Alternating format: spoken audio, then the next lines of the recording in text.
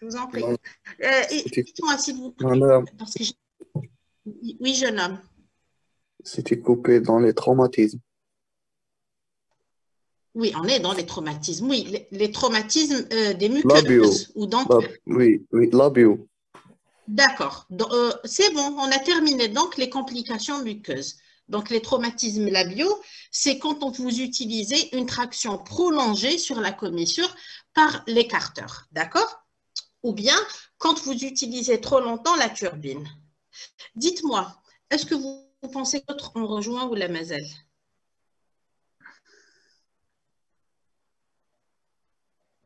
Euh, normalement, oui, parce que tout à l'heure, on était 35, maintenant, on est 33. Peut-être attendre les deux qui ne sont pas encore revenus. Merci. Vous- ah, Écoutez, alors vous me faites signe, d'accord? OK. D'accord.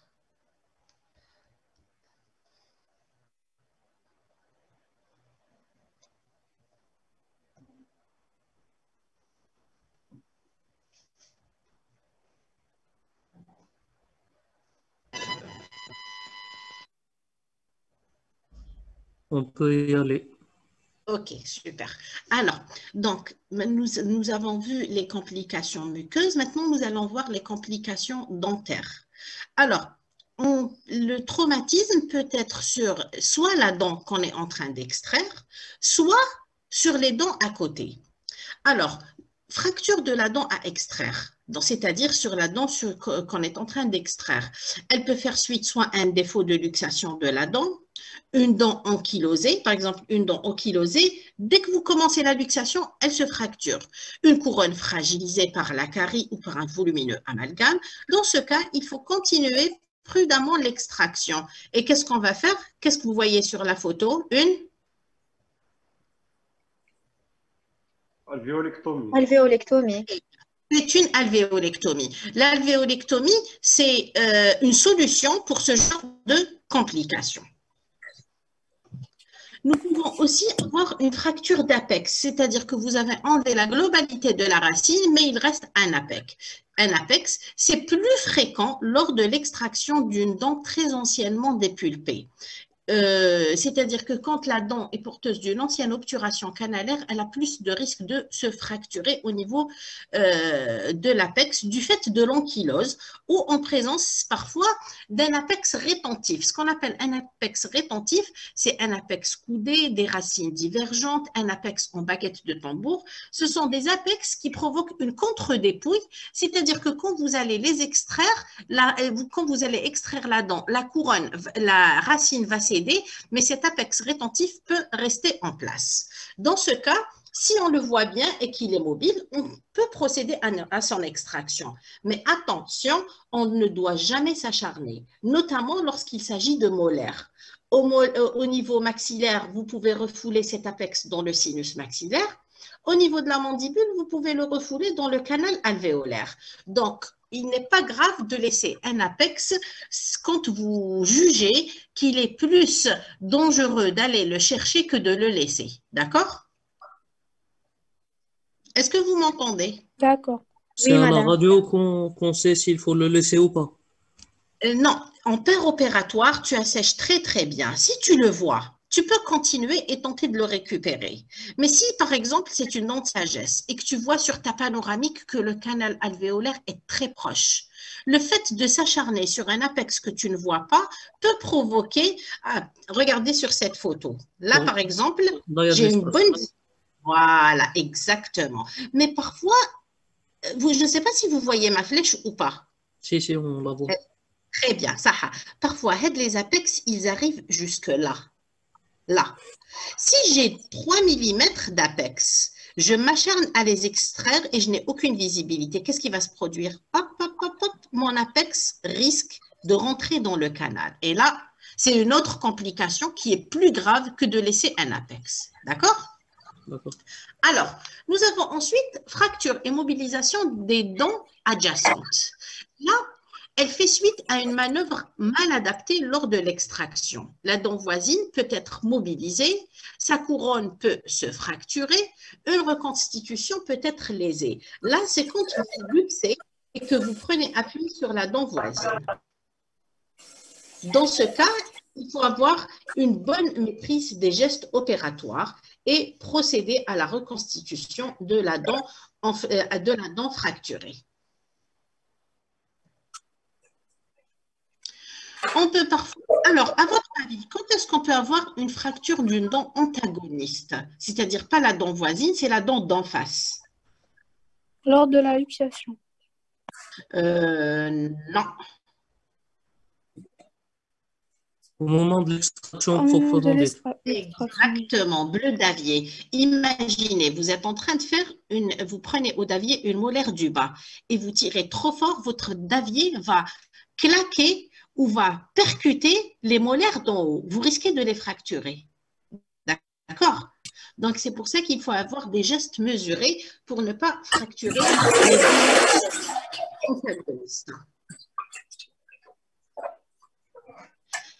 Alors, donc, fracture de la dent antagoniste est due à un glissement du davier ou un mouvement d'extraction non maîtrisé. Dans ce cas, il faut reconstituer les dents fracturées et une bonne, euh, il faut avoir l'habitude d'avoir une bonne prise du davier. Alors, on peut aussi avoir comme complication dentaire l'extraction d'un germe définitif à la suite d'une extraction d'une dent euh, de lait temporaire. Par exemple, en fait, ce qui arrive, c'est quoi? C'est que parfois, le médecin dentiste va extraire une molaire de lait. Les racines sont résorbées et lui, il perçoit, quelque- il, pense que c'est une fracture. Et il perçoit quelque chose tout au fond de l'alvéole. Il essaye de luxer, il luxe pour, en espérant retirer ses racines, mais en fait, ce ne sont pas les racines. C'est quoi? C'est le germe. de la dent définitive. temporaire. Voilà, exactement. Il faut faire très attention. Quand vous faites l'extraction de molaires du lait, vous aurez peut-être l'impression que les racines sont courtes, qu'elles sont fracturées. Mais en fait, ce n'est pas forcément des fractures. Ce sont plutôt des résorptions radiculaires liées à l'âge de l'enfant. Nous avons également les complications osseuses telles que les fractures alvéolaires. Il s'agit le plus souvent de fragments de parois alvéolaires fracturées et. Euh, important et atteindre les secteurs des dents voisines. C'est notamment que vous ne maintenez pas les tables osseuses. Quand vous maintenez les tables osseuses, vous protégez vos tables osseuses avec les doigts. Pourquoi? Parce que vous allez exercer une pression dessus. Par contre, si vous ne les maintenez pas, vous prenez la dent au davier. Quand vous mobilisez, l'os alvéolaire étant fragile, vous allez le fracturer et le ramener avec la dent. On peut avoir une fracture de la tuberosité, notamment lorsque... euh, deux minutes, la photo.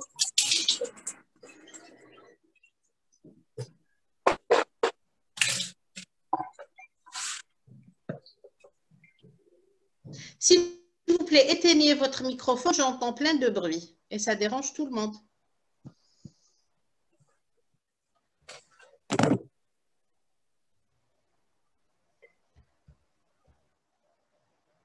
Je ne sais pas pourquoi la photo disparaît quand je vais en mode diaporama.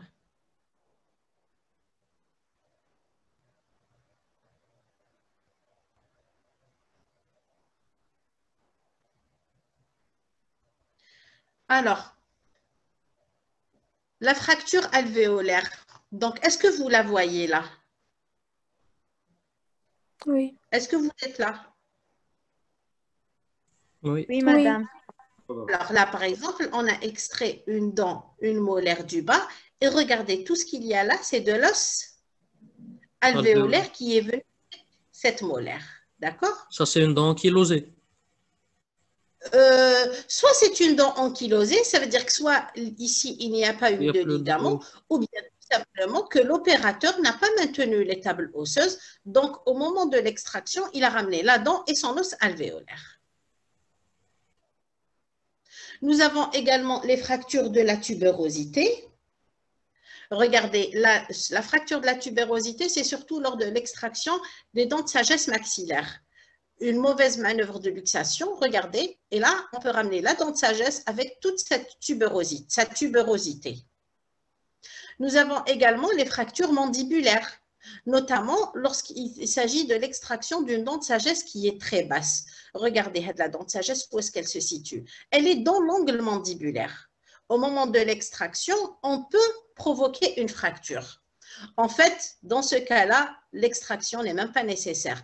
Quand une dent est aussi basse et qu'il n'y a pas de complications euh, infectieuses, enfin comme ça, il ne risque pas d'y avoir de complications infectieuses, plutôt des complications tumorales euh, liées à cette dent, là, il n'est pas nécessaire d'aller l'extraire. Nous pouvons également avoir des complications articulaires. Quelles sont, à votre avis, les complications articulaires?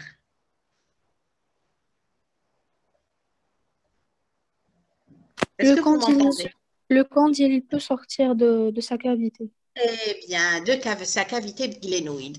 Parfois, euh, chez certaines personnes prédisposées qui ont un problème de luxation euh, discale, euh, qu'elle soit réductible ou pas, en tous les cas, quand il y a un problème euh, au niveau de l'articulation temporomandibulaire, si le patient subit une ouverture buccale prolongée, le condyle mandibulaire peut sortir de la cavité glénoïde et aller en avant, regardez, et le patient va rester comme ça bloqué avec sa mandibule ouverte.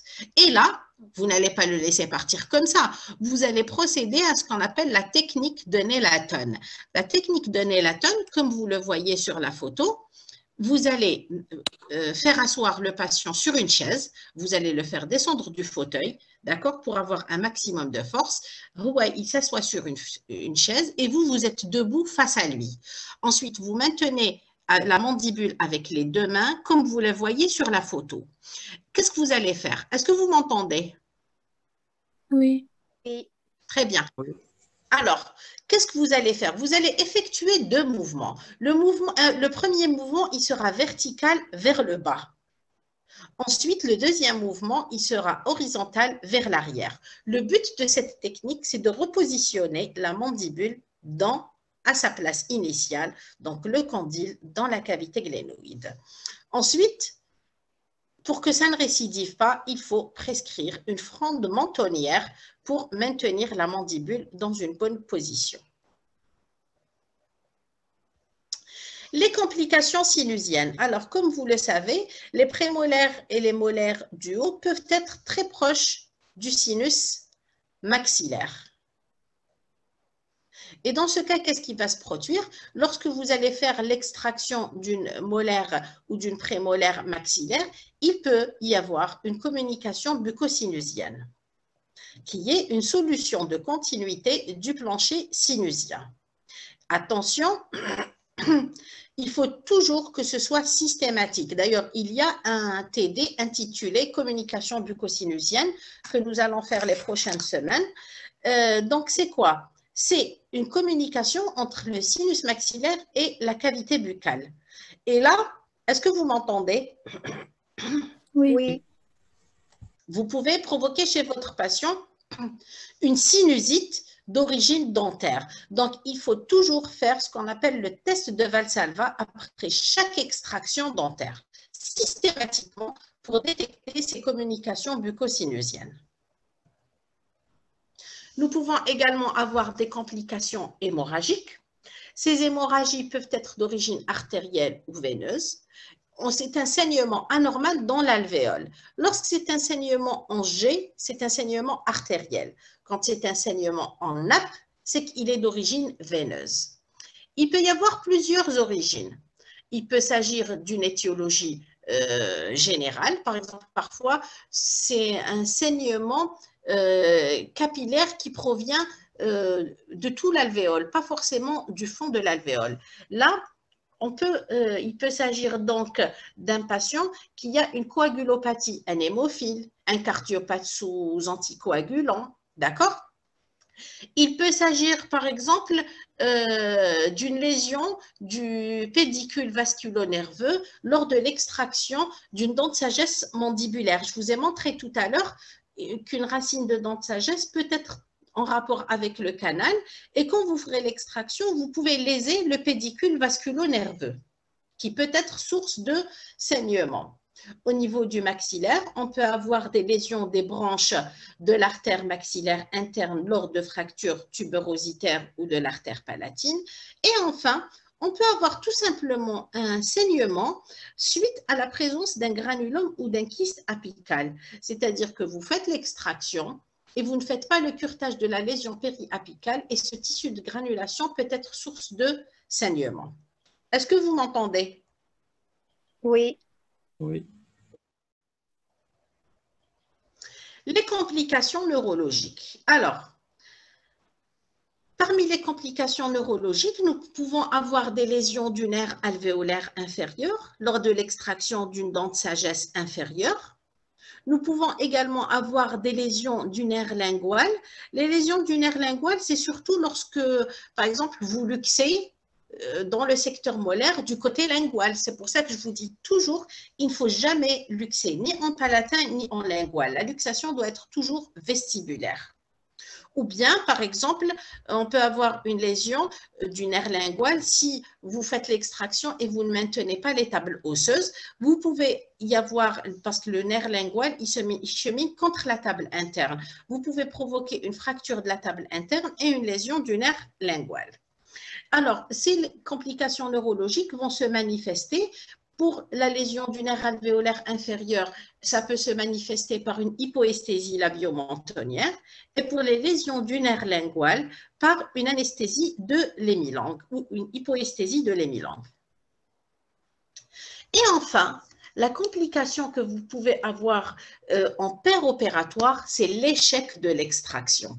Vous commencez une extraction et à un moment vous dites ça y est, je vais arrêter et je n'arrive plus. Pour relever, euh, plutôt, pardon, cet échec d'extraction peut relever de plusieurs éléments, mais il y a en général deux facteurs qui vont nous dire stop, là, je m'arrête et je ne continue pas l'extraction. Soit c'est un échec d'anesthésie, D'accord euh, Le patient a mal, vous avez beau anesthésier, il a toujours mal. Là, on peut avoir un échec par échec d'anesthésie ou bien par difficulté technique. Vous n'arrivez pas à progresser, vous n'arrivez pas à extraire la dent. Et là, il y a une fragmentation de la dent, de la couronne ou de l'apex et la durée devient trop importante, donc la durée de l'intervention. Là, vous allez décider d'arrêter. Donc, il faut arrêter le geste, il faut donner aux patients un traitement basé sur un antibiotique pour éviter l'infection, un anti-inflammatoire pour euh, réduire les phénomènes inflammatoires et bien sûr demander un examen radiologique pour voir pourquoi il y a eu cet échec parce que vous allez reprendre après l'extraction dans de meilleures conditions. Et sachez que parfois, il arrive à tout le monde d'arrêter une extraction plutôt que de continuer à s'acharner et de faire souffrir le patient. Et ensuite, chaque praticien euh, va apprendre avec son expérience à connaître ses limites et euh, à dire à quel moment il doit arrêter. Est-ce que vous m'entendez, s'il vous plaît? Oui, madame. Madame. Alors, parfois, il est plus sage et plus raisonnable d'arrêter et de reprendre dans de meilleures conditions. Par contre, quand vous reprendrez, il ne faut jamais reprendre juste après. Même à l'hôpital, par exemple, quand euh, des confrères euh, nous envoient des malades pour échec d'extraction, pour qu'on fasse la reprise, vous ne devez jamais reprendre, par exemple, deux jours ou la trois jours après. Il faut toujours attendre au moins deux à trois semaines. Parce que le jour même, il y a des phénomènes inflammatoires très importants qui vont s'installer et qui vont durer environ deux semaines. Donc, si vous le reprenez deux ou trois jours après, il aura encore l'organisation du caillot sanguin et ça peut saigner. Nous avons également les bains de bouche agressifs, les premières 48 heures, une plaie muqueuse qui n'a pas été suturée, du tissu de granulation intra-alvéolaire, une fracture alvéolaire ou septale, ou parfois un apex euh, résiduel. Nous pouvons aussi avoir ces hémorragies post-extractionnelles lorsque nous avons une cause générale telle qu'une anomalie de l'hémostase. Est-ce que vous m'entendez? Oui. Oui. Alors, nous pouvons donc en post-opératoire avoir des accidents infectieux. À votre avis, c'est quoi ces accidents infectieux? Défaut de stérilisation des instruments. Très bien. Quoi aussi? Une infection endogène. C'est-à-dire? C'est une bactérie ou un virus qui vient du patient. Donc, Voilà. À quelle occasion? Mais à quelle occasion? Mais chez un virus, une bactérie. Une Les bactérie. infections sont des infections bactériennes. À quelle occasion, par exemple? Par exemple, quand on fait une extraction chez un malade qui a une mauvaise hygiène. Oui, Euh, très bien. Eh, Mais vous savez, même s'il a une mauvaise hygiène, en général, s'il est immunocompétent, ce sont des bactéries qui restent des bactéries euh, commensales. En fait, euh, allez-y, euh, c'est dans ce sens, mais continuez. Il faut un terrain particulier. Immunodéprimé. Eh bien, il faut que le patient soit immunodéprimé, par exemple, un patient diabétique. D'accord? Ou là, vous faites une extraction difficile, vous avez fait une alvéolectomie et tout, et vous n'avez pas le malade sous antibiotiques. Là, il risque de s'infecter. Alors, parmi les complications infectieuses,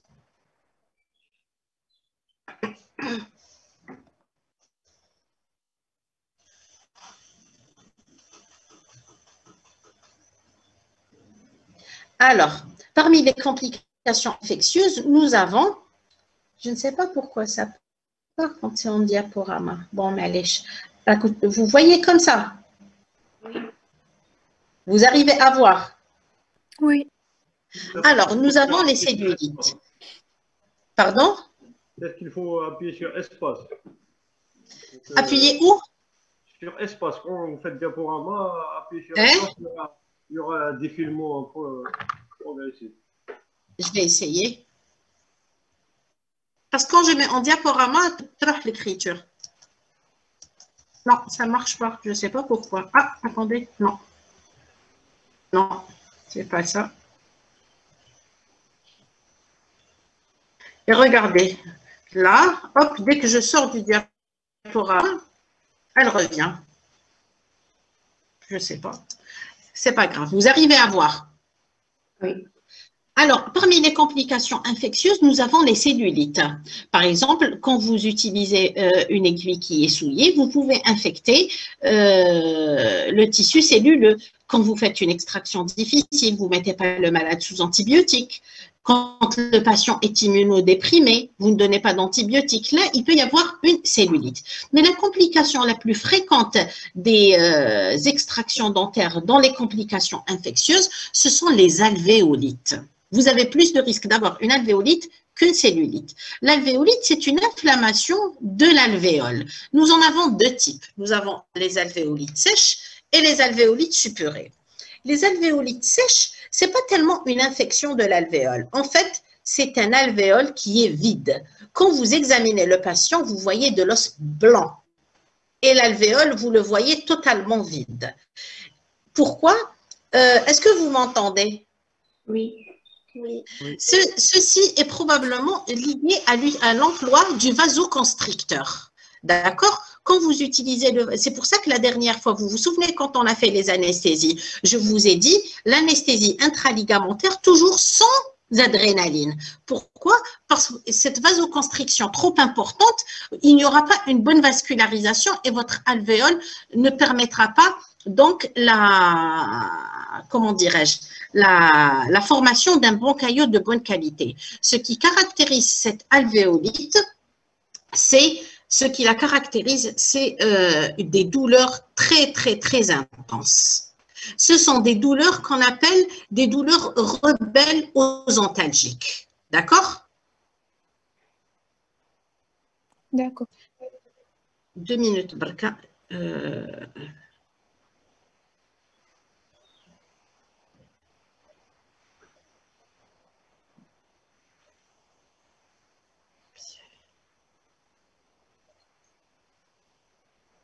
Écoutez, je suis en train de vous envoyer une deuxième invitation pour 9 heures. Au cas où elle, elle se termine, comme ça on termine aujourd'hui les complications, d'accord? Est-ce que vous pouvez les diffu- la diffuser? Oui.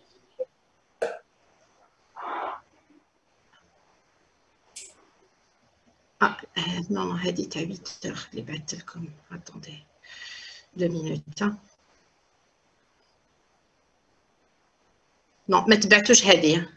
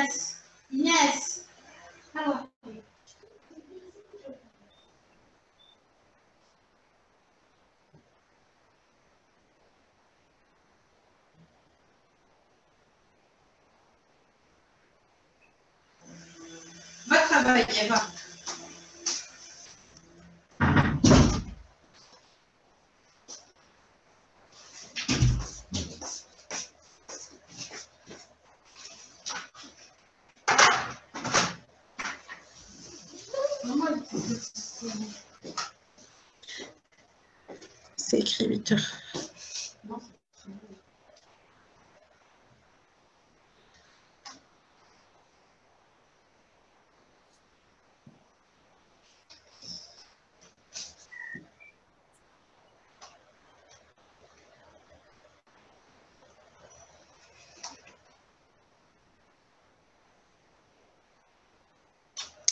À la Voilà.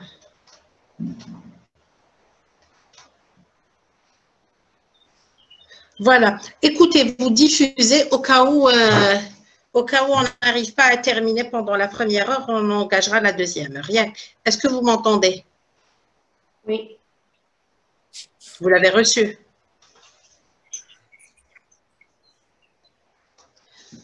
Alors, on continue. Donc, ce qui caractérise l'alvéolite sèche, c'est quoi? C'est une douleur très, très intense. Pourquoi? Parce que l'os, l'alvéole est mis totalement à nu. Il n'est pas euh, vascularisé et donc il n'y a pas d'alvéole. Dans ce cas, il faut procéder au curtage de l'alvéole pour le faire saigner et donc euh, ce qui va favoriser l'organisation d'un caillot de bonne qualité. Nous avons ensuite l'alvéolite suppurée. L'alvéolite suppurée aussi est une inflammation qui est douloureuse, mais l'alvéole est comblé par un tissu de granulation ou un tissu infecté, donc l'os n'est pas mis à nu. C'est vrai qu'elle est très douloureuse aussi, mais elle est moins douloureuse que l'alvéolite sèche où l'os est totalement mis à nu.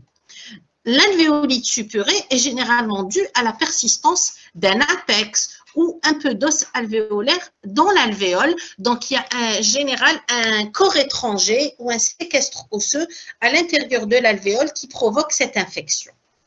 Et dans ce cas, il faut aussi procéder au curtage de l'alvéole et mettre en place un traitement. Est-ce que vous m'entendez? Oui. Ensuite, nous avons les ostéites qui sont des infections très rares. Elles sont plus fréquentes au niveau de la mandibule car la mandibule n'est pas bien vascularisée. Elles font suite à une alvéolite non traitée. Mais généralement, l'alvéolite est tellement douloureuse que le patient reviendra vous voir avant que l'ostéite ne s'installe. Là, elle le provoque donc euh, une altération générale, une altération de l'état général, mais l'ostéite, elle survient en général sur des terrains particuliers. Par exemple, le patient irradié ou le patient sous biphosphonate. D'accord? Dans ce cas, il faut éliminer un éventuel séquestre osseux et donner une antibiothérapie adaptée et prolongée. Et enfin, parmi les complications euh, post-opératoires, le patient peut vous revenir trois jours après et vous dire Docteur, je n'arrive plus à ouvrir la bouche. Pourquoi?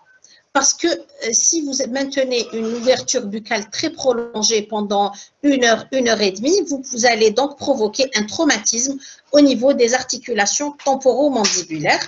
Et là, il peut y avoir un trismus passager. Est-ce que vous avez des questions? Ça va? Madame, Oui. Madame, concernant l'échec de l'extraction, après, euh, Oui. après deux semaines, euh, vous avez dit l'inflammation, je n'ai pas compris. Pourquoi après Alors, deux Quand tu as un échec d'extraction, tu es en train de faire une extraction, tu n'arrives plus à gérer. Tu m'entends? Oui, oui. Tu n'arrives plus à gérer, soit parce que le patient a euh, un, problème et que vous avez, il a très très mal, ou bien par difficulté technique. Si tu dois reprendre cette extraction, tu vas pas laisser le malade comme ça. Si tu dois la reprendre, ne la reprends pas deux ou trois jours après. Tu dois toujours reprendre minimum deux semaines après, le temps que les phénomènes inflammatoires régressent. Parce que le fait de faire une tentative de luxation, ça veut dire que tu as mobilisé un peu la dent, il y a une inflammation du ligament. Il lui faut au moins deux semaines pour que cette inflammation régresse. Parce que si tu la reprends deux ou trois jours après, il risque d'avoir très très mal. D'accord? Oui, merci beaucoup. De rien. Alors, nous allons voir maintenant les complications liées à l'anesthésie en médecine dentaire. Donc, j'ai dit, on peut avoir des complications liées à l'extraction et des complications liées à l'anesthésie. Alors, même si on peut considérer que les anesthésiques locaux sont d'usage relativement sécurisé au regard du nombre important des injections pratiquées chaque année, les anesthésiques demeurent une substance exogène qui peut engendrer des réactions et allant du plus banal aux accidents gravissimes tels que le coma. Alors, écoutez-moi bien. Les complications, nous avons deux types de complications. madame, pardon. Oui, oui. Euh, les complications liées à l'anesthésie, madame Delange, le deuxième lien. On continue directement ici.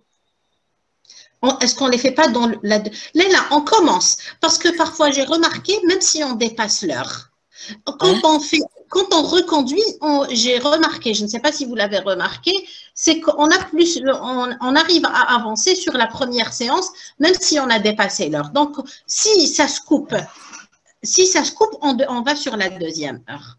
Parce qu'en fait. Nada, c'est un TD qui est programmé sur une heure. D'accord? Donc, on continue. Si ça se coupe, on euh, si ça se coupe, on essaye de reconduire. Si l'on nous dit que les délais est expiré, on va sur la deuxième. D'accord? D'accord, c'est noté.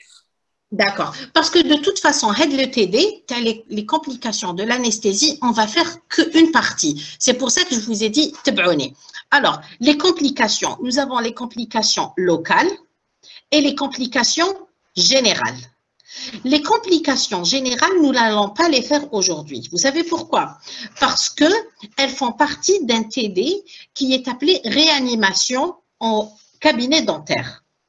Donc, si on fait aujourd'hui dans ce TD les complications générales et la reconduite à tenir, c'est-à-dire qu'il n'y aura plus rien à faire dans le TD réanimation au cabinet dentaire. Donc, on va faire aujourd'hui les complications locales et quand on va faire les complications, les- la réanimation au cabinet dentaire, on va retrouver les complications générales. Vous avez compris? D'accord. Voilà. Donc, parmi les complications liées à l'anesthésie, nous avons les complications immédiates et des complications tardives. C'est-à-dire que je suis en train de faire mon anesthésie, hop, et il y a quelque chose qui ne va pas. Et parfois, mon anesthésie se passe très très bien, mais le patient me revient le lendemain avec des complications. Les complications immédiates, elles apparaissent au moment de l'intervention. Il peut s'agir d'accidents très banals. Par exemple, une injection douloureuse. Le patient, dès que vous infiltrez, il a très très mal. Pourquoi? En général, le produit anesthésique est trop froid. L'injection se fait sous pression. Elle est trop rapide, elle est trop brutale. Ou bien parfois quand vous injectez en milieu inflammatoire. Donc, quand vous faites une anesthésie, si par exemple il fait très froid, pensez à réchauffer un peu votre carpule entre les mains. D'accord? Il faut que le produit que vous injectez soit à température ambiante.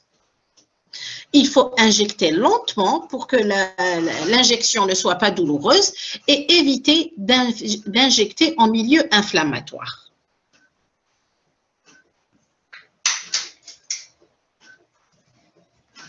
Est-ce que vous m'entendez?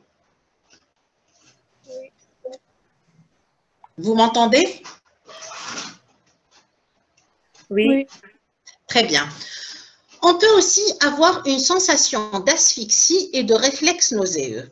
Alors, je vais vous raconter ma petite histoire moi aussi. J'ai fait une extraction d'une dent de sagesse et j'avais tout le temps l'impression d'étouffer. Je ne pouvais plus respirer.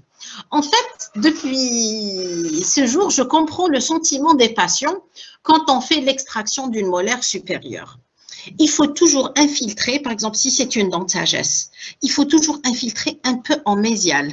Parce qu'une fois que le voile du palais, parce que même si vous n'infiltrez pas dans le voile du palais, vous infiltrez sur le palais dur, le produit va diffuser vers l'arrière. Et c'est très, très, très gênant, cette sensation d'étouffer ou d'avoir envie de vomir parce que le voile du palais est est, insensibilisé. D'accord Évitez les injections trop postérieures parce que c'est très gênant pour le malade. En fait, cette sensation peut aussi être due à la fuite de produits anesthésiques dans l'oropharynx. D'ailleurs, quand vous faites une infiltration, vous dites ou toujours aux patients, s'il y a du produit qui ressort, ne l'avalez pas ils doivent bloquer leur déglutition. Parce que le fait d'avaler quelques gouttes d'anesthésie, euh, c'est très très gênant, l'anesthésie de l'oropharynx. Donc, il faut laisser le patient se rincer la bouche pour éliminer l'excès d'anesthésie et ne pas injecter dans le voile du palais. Rupture de la, de la cartouche d'anesthésie. C'est un accident qui est rare. Il y a un risque de blessure, de danger d'inhalation ou de déglutition du fragment projeté dans la cavité buccale. Parfois, quand on fait une anesthésie, quand j'appuie sur le piston pour actionner, euh, euh, ma seringue, je sens une résistance.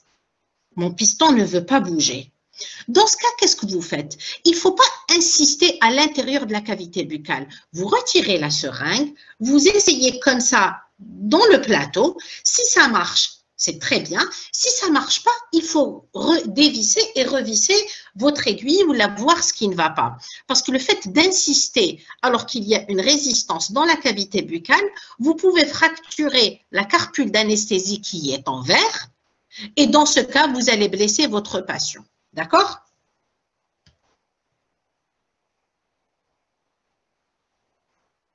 Est-ce que vous m'entendez? Oui. Oui. Comme complication, nous pouvons aussi avoir la rupture de l'aiguille. Par exemple, tu fais ton anesthésie et tu exerces une pression et euh, c'est pas tellement une pression. Vous allez changer d'axe à votre main, c'est-à-dire que l'aiguille est dans une direction et vous vous euh, mettez votre bras dans une direction qui est différente. Là, vous pouvez provoquer une fracture de l'aiguille, comme par exemple sur cette radiographie. Ça, c'est quoi à votre avis? C'est un fragment d'aiguille. Exactement. Euh, qu'est-ce qu'il a fait le praticien là? Une locale? Une tronculaire. Voilà. Regardez, il a extrait la dent de sagesse. Vous voyez l'alvéole vide? Oui. Mais au moment de la tronculaire, il y a eu une maladresse, l'aiguille s'est fracturée. Donc, il y a des praticiens qui ont tendance à tordre l'aiguille avant de travailler. Il ne faut jamais faire ça.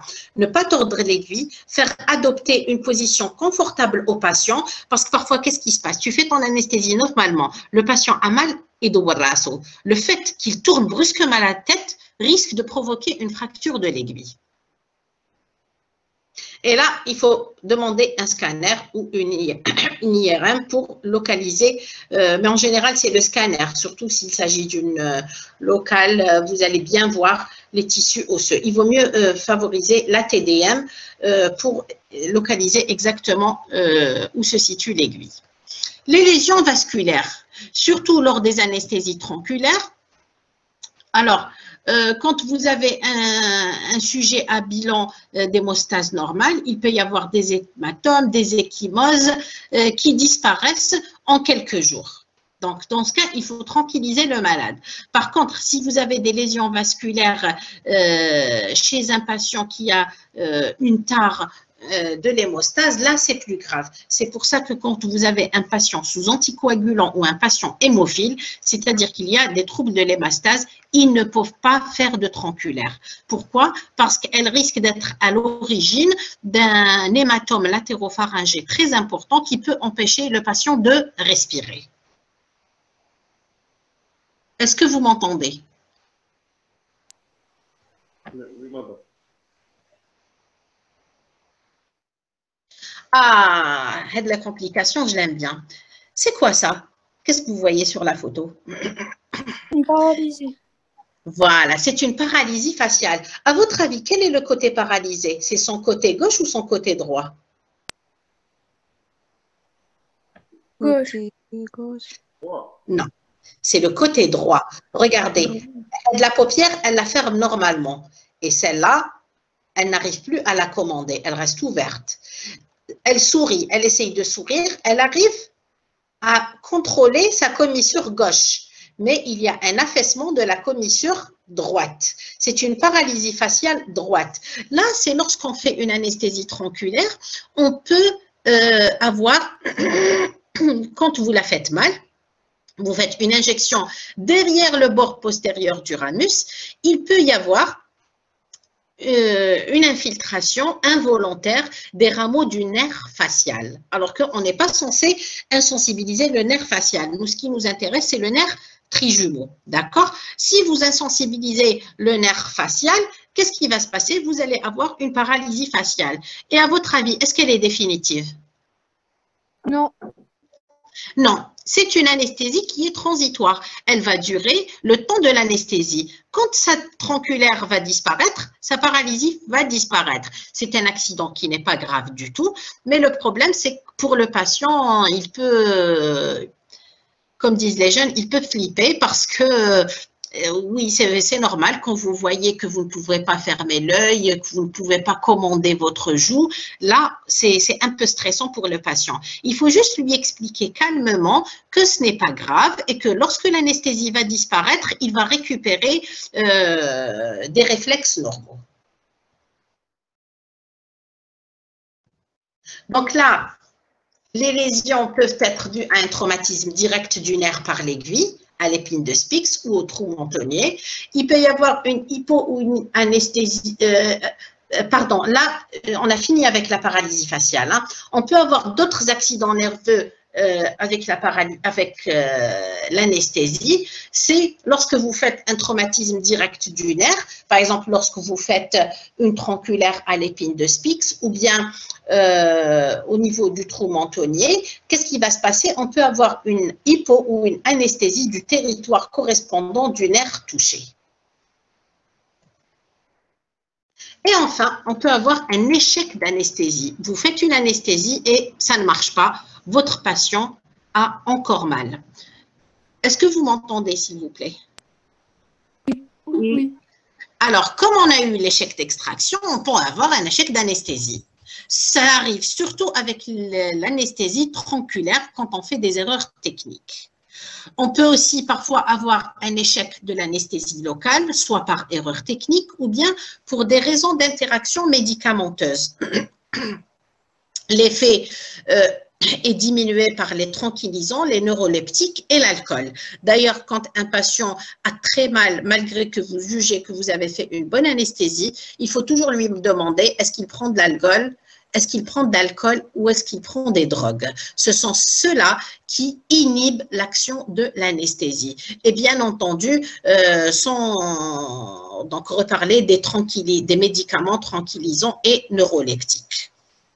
Nous pouvons aussi avoir un échec d'anesthésie en milieu inflammatoire. Mon patient a un abcès, je prends ma seringue et j'infiltre au niveau de cet abcès. Là, c'est comme si vous n'avez rien fait. Pourquoi? Parce que le milieu inflammatoire est très acide et donc qu'est-ce qui va se passer? C'est comme si vous n'avez pas infiltré. Le produit anesthésique sera inhibé par ce milieu acide. Madame, qu'est-ce que vous voulez dire par, euh, par erreur technique? De quoi? Euh, Vous avez dit échec d'anesthésie peut être causé par l'erreur technique. oui, tu as, mal fait, tu as mal fait ta tronculaire et ta tronculaire n'a pas pris. C'est un échec d'anesthésie. C'est une erreur. ça veut dire mal, euh, plutôt euh, faire une, une injection dans le mauvais endroit. Exactement, oui. Si tu injectes euh, à côté, il faut être vraiment euh, au bon endroit. Si tu injectes à distance, en fait, quand vous allez commencer à travailler, quand vous faites une tronculaire, il faut toujours attendre que le patient vous signale les signes que la tronculaire a pris, qui est, qui est donc l'hypoesthésie labiomentonnière. Si le patient ne vous décrit pas ça, ça veut dire qu'il y a un échec d'anesthésie et il faut recommencer. D'accord, merci. De rien. Ensuite, nous avons parmi les complications locales, euh, donc nous avons vu les complications locales immédiates. C'est-à-dire que j'ai fait mon anesthésie, tout de suite, je remarque ma complication. Parfois, il y a des complications qui sont plus tardives. Elles apparaissent quelques heures ou quelques jours après l'intervention. Par exemple, ce que vous voyez là, c'est une escarre. Une escarre, c'est une nécrose ischémique des tissus liée à une diminution de l'irrigation sanguine. Il peut s'agir d'une plaie ou autre muqueuse. Euh, la muqueuse paraît donc blanchâtre après l'injection. Quand vous faites une injection et que vous voyez la muqueuse palatine devenir très blanche, qu'est-ce qu'il va y avoir? Un décollement et une nécrose au bout de huit jours. En général, c'est dû à une injection brutale ou un produit anesthésique trop froid et ou trop concentré en vasoconstricteur. Il va y avoir une nécrose de la muqueuse qui va ensuite se détacher. Donc, c'est une complication tardive. Pourquoi? Parce que sur le champ, vous n'allez rien voir. Vous allez juste vous dire, ah, j'ai fait une bonne anesthésie, ma muqueuse a bien blanchi. Trois jours après, il revient avec une nécrose. Nous avons parlé aussi des alvéolites tout à l'heure. Est-ce que vous m'entendez, s'il vous plaît? Oui. Parmi les alvéolites, allez, tout à l'heure, on a dit que l'alvéolite, c'est une complication de l'extraction. On a cité deux sortes. Parmi les deux sortes, laquelle est une complication de l'anesthésie? Est-ce que c'est la- l'alvéolite sèche ou la suppurée Très bien. Pourquoi? Parce que c'est lié à l'excès de vasoconstricteur. L'alvéolite sèche est l'alvéolite suppurée, elle est due à la présence soit d'un séquestre osseux, soit d'un apex. Par contre, l'alvéolite sèche, c'est une ischémie par utilisation du vasoconstricteur ou bien parfois du tabac. Le caillot ne s'est pas formé, l'alvéole est béant, mettant à nu l'os alvéolaire. Elle se manifeste par des douleurs qui sont très intenses, ne cédant pas aux antalgiques. Nous pouvons aussi avoir euh, une alvéolite suppurée qui est due à l'infection du caillot, mais attention, dans les alvéolites, celle qui est une complication de l'anesthésie, c'est surtout l'alvéolite sèche. Nous pouvons aussi avoir les cellulites causées par une infiltration septique. Par exemple, comme l'a dit votre camarade tout à l'heure, utiliser des instruments souillés. C'est une complication qui est rare avec le respect des règles d'hygiène et d'asepsie. C'est-à-dire que si vous utilisez des instruments stériles, il n'y a pas de raison. Et là, la cellulite, elle va évoluer selon les différents stades, séreuse, suppurée, d'abord circonscrite, puis diffuse. Nous avons également les lésions des tissus mous. Est-ce que vous m'entendez? Oui. Alors, madame. les, lés- les lésions des tissus mous, elles sont surtout dues à une insensibilisation de la lèvre inférieure. Quand vous faites une tronculaire, le patient, l'hémilèvre inférieure, il ne la sent pas du tout. Donc, qu'est-ce qui va se passer? Quand vous utilisez, par exemple, des instruments rotatifs ou bien euh, vous faites, par exemple, un accident de dérapage au niveau de la lèvre, il ne peut ne pas le ressentir. Et ça, ça peut provoquer chez lui des lésions au niveau de la lèvre inférieure. Ça peut aussi se produire après, lorsque par exemple le patient il, sort de chez vous, il prend une cigarette et là il ne sent pas du tout son hémilèvre. Il peut y avoir une brûlure avec la cigarette sans qu'il sente cette brûlure. Et là, il peut avoir des ulcérations traumatiques euh, aussi au niveau euh, de la lèvre. Ça, c'est chez l'adulte. Chez l'enfant, et c'est plus fréquent, dès qu'il sort du cabinet, est-ce que vous m'entendez? Oui. Oui. Les enfants, en général, ont tendance, peut-être même vous, vous l'avez fait quand vous étiez petit, quand on vous fait une anesthésie, dès que vous sortez du cabinet, vous vous mordillez à chaque fois la lèvre pour voir si c'est revenu, si la sensibilité est revenue, parce que c'est une sensation étrange chez l'enfant. Et qu'est-ce que vous allez constater? Que l'enfant va vous revenir 24 heures plus tard avec une grosse blessure au niveau de la lèvre. Et là, il faut bien faire l'interrogatoire. En fait, c'est l'enfant qui s'est mordu après l'extraction à chaque fois pour tester le retour de la sensibilité. D'accord? Et là, nous avons fini avec les euh, complications locales. Nous allons garder les complications générales pour le TD, euh, donc intitulé la réanimation au fauteuil denteur, parce que toutes ces complications générales liées à l'anesthésie ou pas vont nécessiter euh, des manœuvres de réanimation. Est-ce que vous avez compris? Oui, madame. Madame, je Voilà. une question. Oui, jeune homme, je vous écoute. Euh, on sait que lors euh, de l'anesthésie tronculaire, on, Oui. on injecte, euh, on, a- on fait pénétrer l'aiguille, ensuite on, euh, on aspire pour voir si on est Bien euh, sûr, si on est dans un gros vaisseau. voilà, dans un gros vaisseau. Dans le cas où le praticien a oublié ou. euh, ou Eh non, il ne faut pas oublier. Il faut pas oublier. C'est justement, surtout, surtout, si ton patient est sous anticoagulant ou là il a des troubles de l'hémostase. Si tu injectes dans un gros vaisseau, il risque de te faire un hématome euh, qui peut provoquer l'asphyxie. C'est systématique. Tu fais une tronculaire, tu aspires. Ça doit rentrer dans, dans tes pratiques. yani, c'est- Tu ne vas pas oublier. Ça va, ça va être un réflexe. Ok. Merci. D'accord? Oui, c'est compris. Merci. De rien. Alors, s'il n'y a pas de questions, je vous dis bon courage et bonne journée. Merci à vous aussi. Allez, au revoir. Merci, madame, à vous aussi. Au revoir. À la semaine prochaine, Inch'Allah.